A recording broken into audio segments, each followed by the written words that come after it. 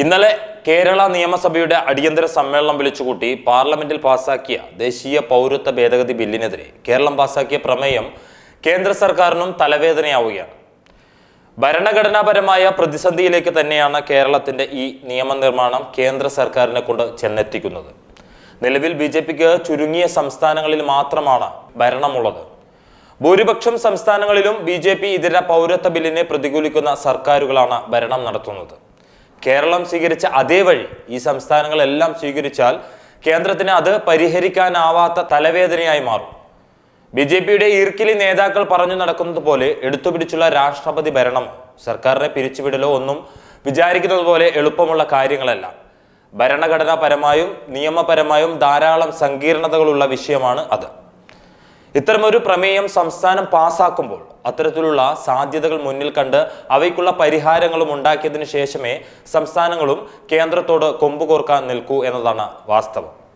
കേരളം കേന്ദ്രത്തിന് കൊടുത്ത പ്രധാന പണി ബാക്കിയുള്ള സംസ്ഥാനങ്ങൾക്ക് മാതൃകയായി നിയമനിർമ്മാണം നടത്തുക എന്നതാണ്.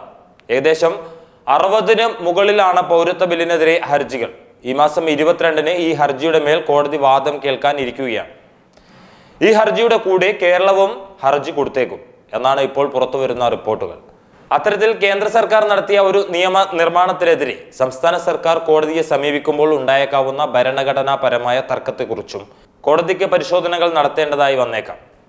ഇവിടെ കേന്ദ്രത്തിന് സംസ്ഥാനങ്ങളുടെ സഹായമില്ലാതെ പൗരത്വ ബിൽ നടപ്പിലാക്കാൻ കഴിയില്ല എന്നതാണ് പ്രശ്നം. ഈ നിയമനിർമ്മാണം ഇന്ത്യൻ പാർലമെന്റിൽ പാസാക്കിയത് കേന്ദ്ര സർക്കാർ ആണെങ്കിലും നടപ്പിലാക്കേണ്ടത് സംസ്ഥാന സർക്കാരുകളായതുകൊണ്ട് കേന്ദ്രവും കരുതലോടെയാണ് ഇടപെടുന്നത്. ജനസംഖ്യാ രജിസ്റ്ററും പൗരത്വ രജിസ്റ്ററും നടപ്പിലാക്കുന്നതിൽ സുപ്രധാന പങ്ക് സംസ്ഥാന സർക്കാരുകൾക്കാണ്. രണ്ടായിരത്തി ഇരുപത്തി ഒന്നിൽ സെൻസസ് നടത്താൻ തയ്യാറെടുക്കുമ്പോൾ അതിനൊപ്പം തന്നെയാണ് പൗരത്വ രജിസ്റ്ററിലേക്ക് ആവശ്യമായ വിവരങ്ങളും ശേഖരിക്കുന്നത്.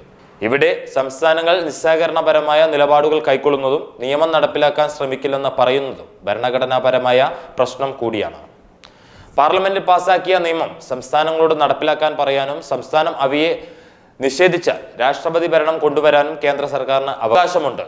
എന്നാൽ കൂടുതൽ സംസ്ഥാനങ്ങൾ ഇത്തരം നിയമനിർമ്മാണം നടത്താനുള്ള സാധ്യത നിലനിൽക്കുന്നതിനാൽ ചിലപ്പോൾ ബി ഇതര സംസ്ഥാനങ്ങളിൽ എല്ലാം രാഷ്ട്രപതി ഭരണം നടപ്പിലാക്കേണ്ടതായി വരും.